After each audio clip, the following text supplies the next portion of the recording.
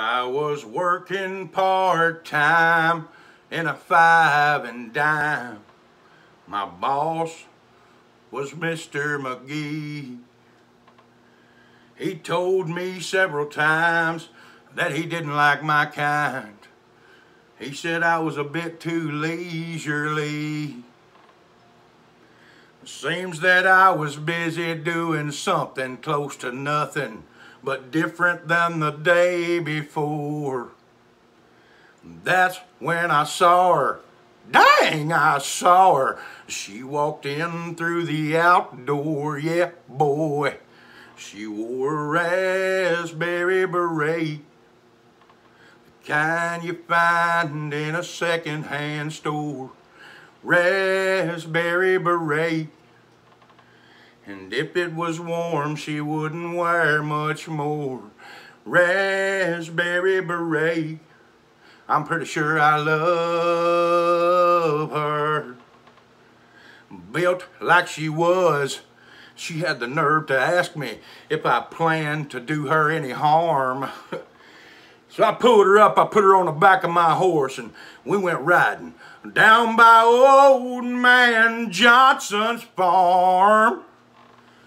Well, I said now overcast days, they never turned me on.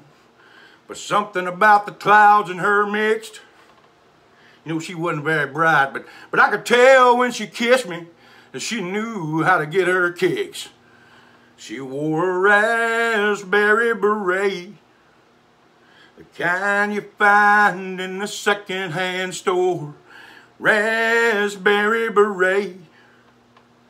And if it was warm, she wouldn't wear much more. Raspberry beret. Pretty sure I love her. The rain sounds so cool when it hits the barn roof and the horses wonder who you are. Thunder drowns out what the lightning sees and, well, you, you feel like a movie star. And listen up now.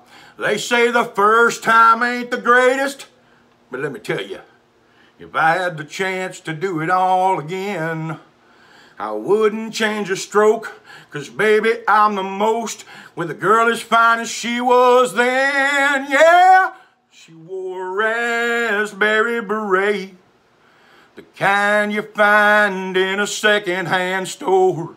Raspberry beret. And if it was warm, she wouldn't wear much more. Raspberry beret. I'm pretty sure I love her. Yeah, my raspberry beret. I'm pretty dadgum sure I love her. So tell me, tell me, tell me, where's my raspberry woman? Gone.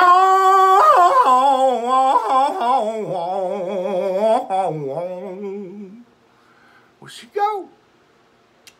It'll be good.